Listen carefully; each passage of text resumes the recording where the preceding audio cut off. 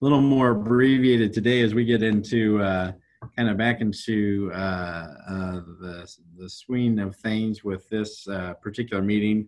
Obviously, obviously, um, um, there's my video. Sorry about that. Um, obviously, the uh, uh, events of the weekend and and other fronts are um, also kind of.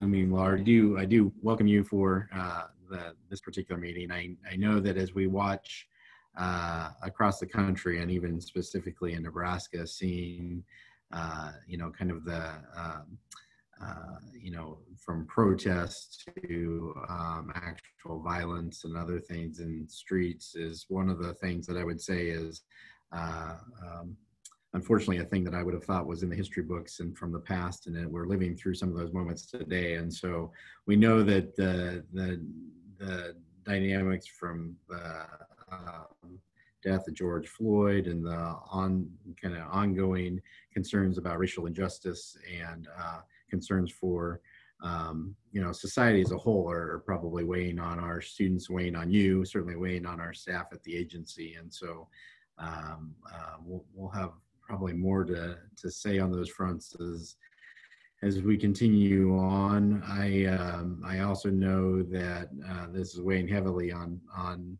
uh, folks in in uh, um, well probably all sectors, but certainly even among the public health officials. Um, uh, as I've had some opportunities to chat with them today. So, so I, I share that not um, not knowing what the the future may hold, but the reality is that uh, obviously the impacts of uh, what we've been experiencing from the coronavirus on through uh, have a, a, lot of weight on our on our uh, society as a whole, and so. I just uh, wanted to share that with you as we as we continue today's conversation. Um, if the governor's not able to join us today, um, I just I will say that as you look at kind of the spread of the virus uh, around the the state, at least is what they'll say is I guess starting to flatten out. Um, um the number of cases um, seem to peak, uh, depending on where you're at within in the state, but certainly has seemed to peak, and then a lot of the concerns around where we go to kind of maintain uh, um, that level of um, attention anyway is still important and still important in, in, areas of the state as we kind of had some uh, directed health measures from the governor that are starting to open open things back up uh, uh as of today in certain areas of the state as well. I know that uh, some schools probably are experiencing uh, uh, opening uh, weight rooms and things today, and obviously keeping track of how that's going uh, and how people's behaviors kind of work in that. I know people are probably excited in some cases cases to be able to re-enter into some of those environments, and and obviously uh, kind of watching that all with an eye towards. health and safety is something that I, I, I don't I, I don't take for granted in all of your uh, abilities to, to do that work. So uh, if if we do get the governor on, I'll have him kind of share some additional comments perhaps about that. But I'm, I'm going to jump into some of the Launch Nebraska updates. And there's kind of a, uh, I have Lane Carr on with us today. So thanks, Lane, for joining. And uh, I'll, I'll, kind of start to talk through some of this and invite Lane to just kind of join me in a bit of a dialogue about where we're at and and some of our next steps. For, for many of you, you uh, you know that we've released additional guidance, obviously around summer learning over the last uh, uh, week, I guess, uh, as that as that goes, and we have tried to uh, provide uh, an opportunity for folks to understand that as well as possible. And I know it's a, a somewhat of a, a, challenge, but obviously there's the importance of kind of our governance and leadership and planning, our conditions for learning, and our continuity of learning. And then I, I want to be able to walk through with you a little bit of a, a sense of how I would hope eventually we're able to start assessing risk at some scale uh, and, and at the appropriate scale at a local level as well. And so we'll talk through that. And then finally, I have, Brian Halstead on uh, today just to kind of be able to chat a little bit about where we're at on the CARES Act uh, uh application and kind of our next our next phases and beginning to roll that out. So we'll we'll give you those updates today, and it may be a, a slightly abbreviated meeting. Uh, we'll get back to some of the other routines of having other panelists on. I didn't really get a chance like normal to uh, kind of connect with folks in advance uh, to do that work uh, uh, this weekend. And so I'll be reaching out to some folks on that front too, so we can kind of get back in that routine. So um, let me, I'll jump into the launch Nebraska and obviously we're, we are hoping that there's a lot of joint efforts taking place. And I, will thank Jack Moles who joined us at the last meeting uh, for NERCSA. I know we've had some outreach from GNSA uh, trying to work with uh, schools that might have some like and similar uh, circumstances. I thank the the folks that are on my uh, uh, advisory, the commissioner's advisory committee from around the state, the 24 superintendents or so and ESU folks and whatnot that participated in meeting last week chatting about kind of some of our next steps and and what I will tell you is it's really that that kind of thoughtful nature of what you're diving into that work and we hope that uh, Launch Nebraska can kind of be a bit of a model for that. I think we've highlighted before there's really a, a, role for school leaders at all levels, boards and principals and superintendents and teachers. Um, and I, think it's important and some of that guidance in the Launch Nebraska allows us allows us to go that direction. And then I, I, I will talk, I'm, I'm going to have Lane kind of talk about the structures that we have set up around uh, Launch Nebraska and some conversations that are happening but I will also talk a little bit about our next steps on Rule 62. So, Lane, do you want to kind of highlight some of the kind of big the big buckets of work that are taking place right now, and maybe some folks that are involved generally uh, across the, those buckets of work? You bet. And by the way, Commissioner, just so you know, your video is kind of coming in and out, so it may be best to just turn that off so we can hear you a little bit better. So, yeah, thank you all for your time today and wanted to just share some quick updates uh, around Launch Nebraska. So, as the commissioner spoke about on the front page of our Launch Nebraska website, you can see it small on these three pictures or on this picture, but there are three links there that have to do with summer school guidance. Um, so you'll see some information that was a collaboration from the Department of Health and Human Services, from our local public health departments and from UNMC all kind of coalescing and cohering around um, the best practices for our schools as they consider summer school. Is part of that too, you'll also notice that there are some academic considerations. So, really thinking about what you know what are what's the purpose of your summer school efforts? What are you trying to do um, with summer school? And then the final piece is specific guidance around special education. So um, and for our students with disabilities. So kind of thinking of those three things as a package. We really wanted to get those out to you as soon as we could and that happened again last week because we know that that is top of mind for you the other thing that uh, you will notice or that you should have noticed is that the commissioner sent out graduation guidance for you, um, as he mentioned. Um, and huge thanks to Jack Moles and NERCSA for really taking a step and putting some thoughts down on paper. And then once again for our local health departments who took a look at that and made sure that we were all uh, on the same page. So as far as kind of next steps for us, as the commissioner said, we've broken down our Launch Nebraska work into these three big pillars the leadership and planning, uh, conditions for learning, and continuity of learning. And in each of those, we've been asking for uh, some volunteers to kind of help us think through, look through the language, think through areas that we might need uh, more work and uh, even additional professional development, etc. And if you'll go to the next slide for me, I think the next one should be conditions for learning. Yeah, perfect. So, conditions for learning, again, we're just really thinking about all of the pieces that go into the conversation around how do we know when we need to start and what the start of school looks like. So, we're working with a national organization called Opportunity Labs. They actually helped us uh, create some of the content for Launch Nebraska. And Opportunity Labs is composed of a the former uh, chief operating officer for New York Public City Schools, New York City Public Schools, excuse me, and an epidemiologist who worked for the WHO and CDC. So they are just experts in this field, and we're really excited for them to help us think through, you know, those levels of risk. And I, I won't steal the commissioner's thunder because he's going to talk about that here in a minute but then more importantly, the guidance and the guidelines, as well as the requirements that go along with each of those pieces along, um, along the levels of risk.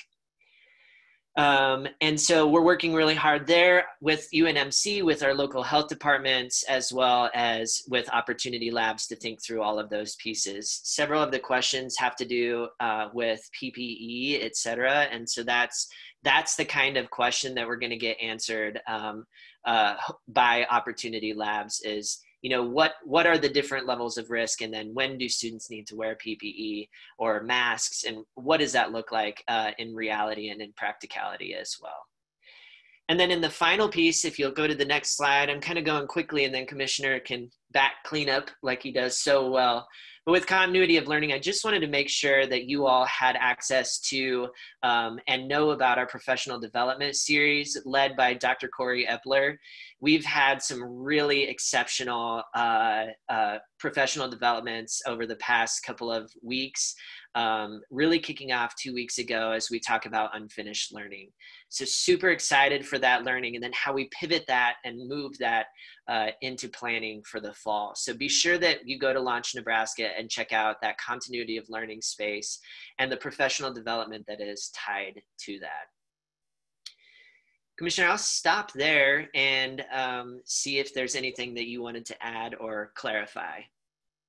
Yeah, and so Ling, one of the things I might just um, speak to for a second is, um, you know, kind of as we have uh, groups gathering, what's kind of our timeline that we're we're working on for further guidance? What's you know, kind of who are the other folks that are engaged in in some of those conversations? So generally, can you give a little update on that front? Specific to this govern uh, the leadership and planning domain or just in general? All of them, yeah. I think all of them in general is fine. So yeah, we have a lot of players that we're working with, and really excited for again the the opportunity to extend upon partnerships or expand upon partnerships. So our Opportunity Labs uh, folks plan to have this a draft of the risk analysis as well as uh, some of those protocols to us early this week and then we want to workshop that. We want to nebraskaize that. We want to make sure that our local public health uh, departments have access to that and can give feedback as well as unmc and dhhs as well. In general we've been really seeking uh, input. We've been working really closely with jack moles and NERCSA have some contacts with GNSA and how we can really get in there. Been on calls with our MOEC team um, and some of the superintendents and, and leaders from the Omaha area. Um, we also are working with um, NASB and their uh, their team. So thinking about the board perspective and how we get that and then there's sort of a missing piece here for me right now, but I think there's an opportunity really to get some student voice um, and hear from our students about their experiences in the past, over the past couple of months, this summer, what they're really wanting and expecting, and then as we go into the fall. Um, so a lot of the work, honestly, the the dial, the risk analysis, that's really going to come to play, I would say, within the next couple of weeks. I think we would have by mid June a real idea and a real sense of what. Um, uh, what this risk analysis and then the subsequent work that has to do with the protocols really looks like. Yeah, thanks, Lane. So eh, there's a couple questions that are in the in the question and answer. I thought maybe you and I could try to answer them together. So the first one the first one is, are we going to require masks for students and staff? And with the shortage of material, we have to get, you know, we have to get started on these things if they're going to take place. And so can we kind of address that one together a little bit? You bet. Well, I'll say from our, from what we're learning and what we're hearing from the CDC that the masks are going to be suggested and I would say recommended, if not required in our places that have um, a higher risk. Um, we've had conversations as an NDE with our state purchasing and thinking about how we can bulk order that. And I think we'll have some understanding of what that looks like here again in the next couple of weeks. So, one of the things that Opportunity Labs talked about was not putting, you know, there's so many decisions that have to be made, one around like the actual, you know, opening and what opening looks like we don't need to make that decision right now and before we before we um, before we jump to buying too many things or, or investing in those things, I think we need a better sense of what the risk is going to look like. And we'll have that again um, here within the next couple of weeks, I would say. Feel free to jump in, Commission. Yeah, and and thanks. And I just I was going to highlight this one. I mean, and Lane hit some of those points. I mean, we're trying to work with the state purchasing. I know that um, you know one of the questions that surface in different areas. You know, should we go buy them? I would you know I'd recommend if you have normal channels that you can go get that done. We're trying to look at how we can at least use some of the the state's leverage to to uh, get some of those things in place. But if there are materials that are available, I know that's really a concern around cleaning supplies and other fronts that folks are worried about too. So we're exploring that. Hopefully, know a little bit more as we continue to do that. Uh, continue to have those conversations. I also, you know, just would highlight that, um, you know, kind of as we go down these paths, and there's a, always constantly changing uh, information. It seems around each one of these. Uh, um, I, again, trying to get as prepared as we can. Um, if if uh, uh, schools, uh, as you have conversations kind of regionally and kind of where folks are uh, feeling that's at, I, I, I, hope that's the, the, the message generally is please take steps forward to go ahead and get some of those things in place. We are trying to use the summer school guidance as at least our best thinking relative to uh, what you will need in place as we continue to build that out. And so that's, I guess that's the main point that I would say that doing that preparation work. I had a, another question on here from um, uh, uh, Bill McAllister about starting early, and he wrote in here on May 5th. My guess is he meant August 5th, because if we could start on May 5th all over again, I, I think that'd be great. But I think he means August 5th. Um, you know, as far as your abilities to start early, that we're perceiving that very much as your as your uh, you know local uh, ability to if that works out for you. We hope that health conditions are uh, continue to see some improvement and that we're able to manage in that environment. Uh, maybe in in similar fashion, um, there is uh, a, a question or at least maybe a statement of of the significance of uh, static groups. I mean, I know part of our recommendations was trying to keep groups static, including I know that even came out in in uh, conversations just around students generally. I one of the the the key elements of uh, expanding those groups is starting to get a real good grasp of how that works. And to the extent that schools are able to use and kind of share their experiences as you have anything that's happening in person about how that works, I think that'll be important. But I, I completely agree. Figuring out how we get to, um, um, you know, that direction, it'll be it'll be um, kind of a bit of a challenge. So, um, so we want to learn from these moments and try to move in in that direction as well. And then I'm going to do one more uh, one more question that just popped up uh, from Andy Rickley about PPE um, uh, in the the notion of trying to get those things in place. We are already actively working with with Doug Carlson and others on those orders. But my understanding, even from and from them and Lane, you can correct me if I'm wrong.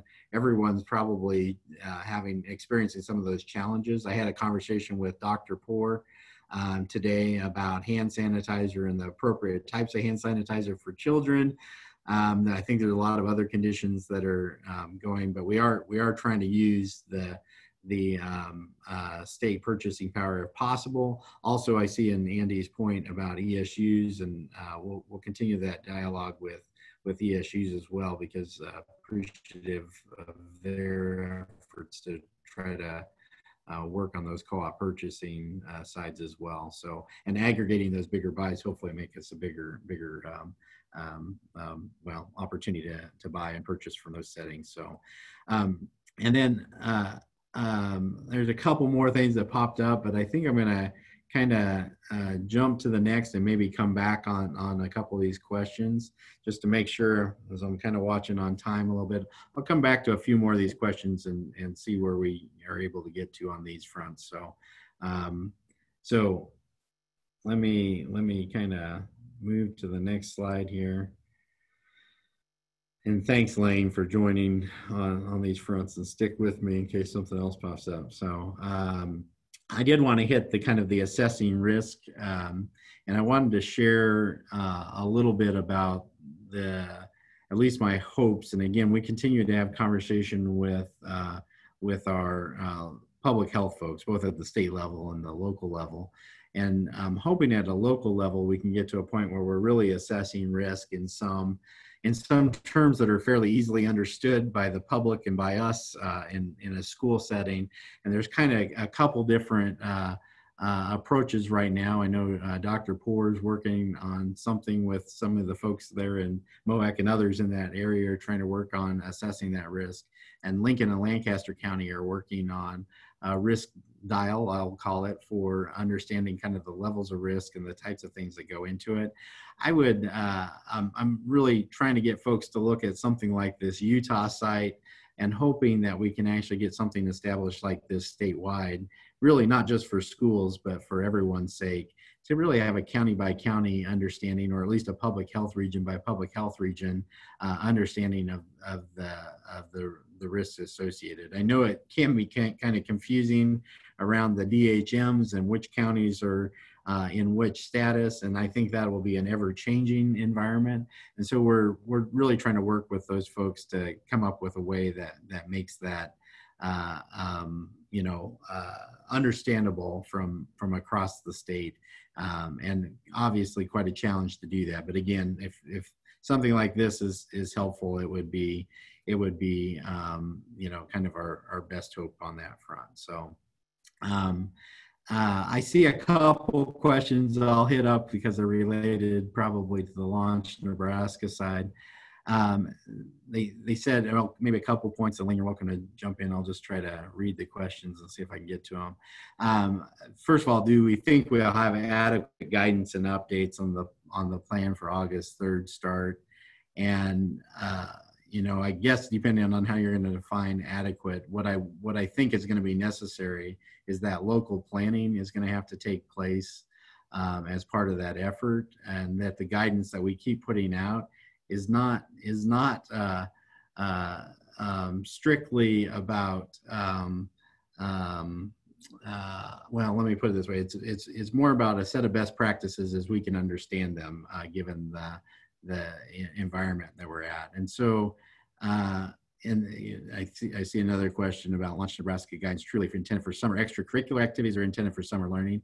It's a, there's kind of a mix of those of summer learning and summer uh, uh, school, if you want to call it that, and and other activities as well. And so it is that chance to kind of look at that. Again, we had folks from across the uh, um, public health arena, including folks from UNMC helping review uh, some of that guidance. Lane, is there anything you want to speak to on that particular front? Just, about? just a couple of things, Commissioner. Yeah, so I would say I think we're, you're going to see a lot of movement in the conditions for learning, and well, all, across all three. So really, in that governance, uh, leadership, and planning space, this idea of the funding element, which I know that Brian's going to talk about here in a little bit, and the um, kind of the committees that you might want to be considering, the processes that you should consider, your scheduling, things like that. Uh, I think we're going to see a lot of movement there.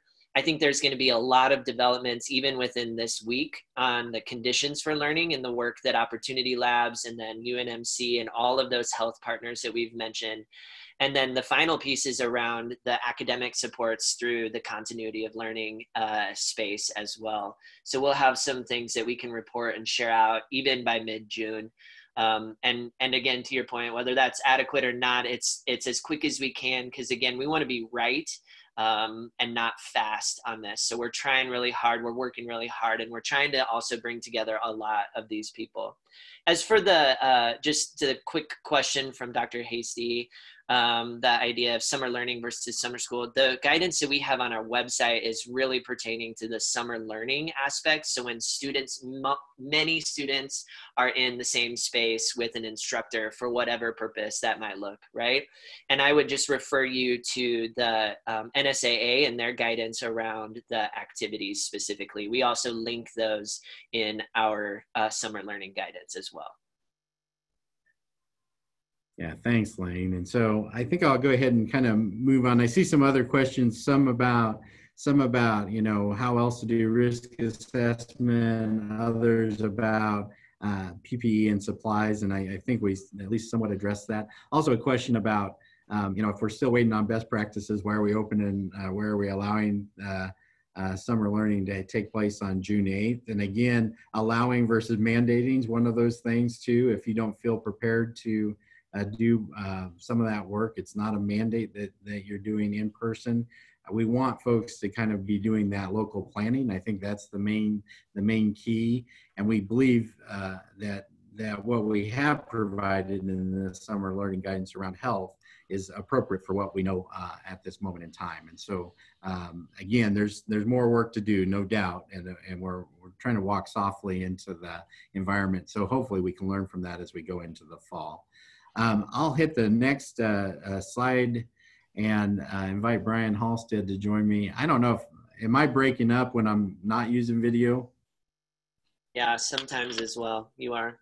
Okay, so it's probably because I'm sharing my screen too. So uh, I might actually unshare my screen and see if that helps a, a little bit with that. So,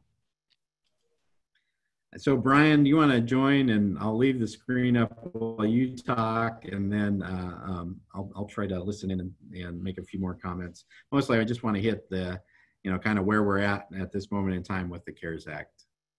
All right, Commissioner, and thank you. Um, for everybody, you've probably seen this slide before. We've used it in the past. It's still the same. The Nebraska total of the CARES Act dollars for elementary and secondary emergency relief is 65 million and a couple hundred thousand.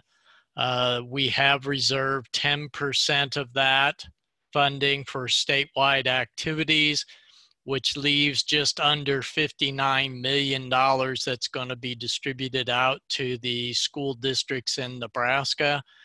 That funding will be distributed and available for all of our public school districts who are already eligible and receiving Title I funding right now. Um, so that dollar amount we have already created behind the scenes the tables that will show each and every school district's funding that's available. We have also, because equitable services is part of the CARES Act funding that's going to be eligible, calculated what the equitable services portion is for each school district that they have to budget for initially and then engage with their non-public schools in the consultation to see whether the non-public schools want to participate in equitable services. Um, the commissioner submitted the application uh, a week ago Friday. It was approved. The department is getting prepared all of the forms and documents. We intend to be sending out information to you this week. We have created a website where all of this information about the CARES Act, the reporting, the documentation, all of the information you're going to need to know, and the processes to be followed. So that's quickly where we at with the CARES Act. Uh, I'll turn it back to you, Commissioner.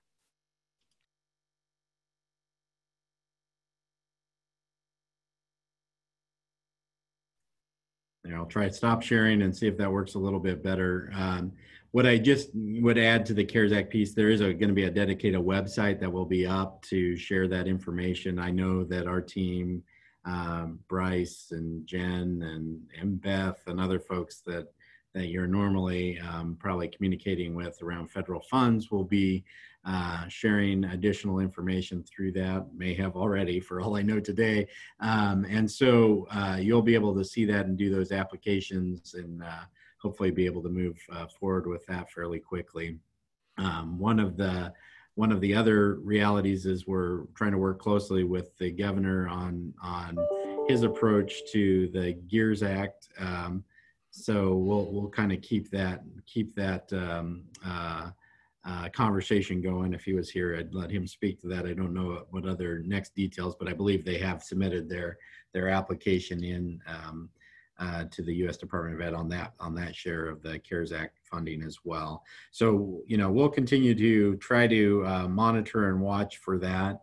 Um, uh, I have my last slide, which is the, I think essentially the kind of typical questions and and resources on our website. And Lane, I did see a quick question about where the graduation guidance was posted. And I, I was going to try to answer, and then I thought I might be wrong. So I'll let you uh, maybe address that one. Yeah, I know it was sent out to all superintendents on um, and ESU leaders on Friday, but um, I'm not sure where it is posted on the NDE website. So I will follow up and make sure that we get that out here. Yeah, we'll get it. Sorry that we missed you. Yeah, we'll get it posted in one of one of those sites, and eventually we hope to have all that type of guidance up on the Launch Nebraska site as well. So, so between there and our COVID uh, site, uh, hopefully one of those two places, um, you'll be able to find that.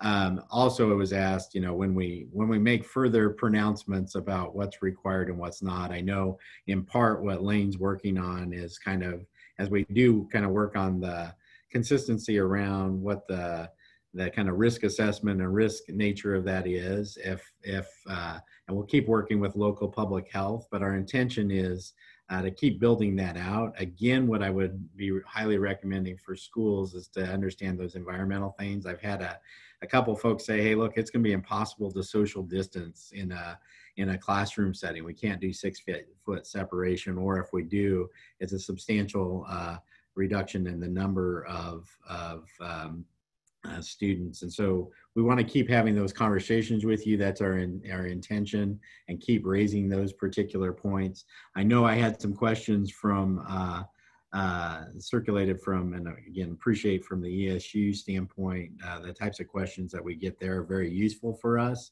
I don't know that I have answers for, well, I don't have the questions up in front of me, so I can't remember exactly, but but you know some of them are kind of those those uh, environmental and and logistics standpoint that we've been talking about today. And so we'll continue to try to try to um, push on that on that front too and try to find some answers on those on those elements as well. So i do just uh, want to encourage you if you're not in either some group that's having conversations about best practices um, you know based on region certainly our esus thanks again for that effort.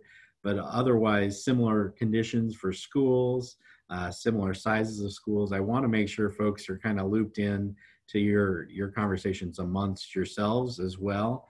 And um, to me, that's a big a big part of of the underlying effort that we're going to have to uh, keep keep going. So I I encourage you to do that. We'll keep kind of working on on these fronts, but but um, um, um, and we'll we'll kind of keep taking those things on. I see a few more questions in here. I hope I don't know if I missed you know major themes or anything, but um, uh, I think we've captured most of those.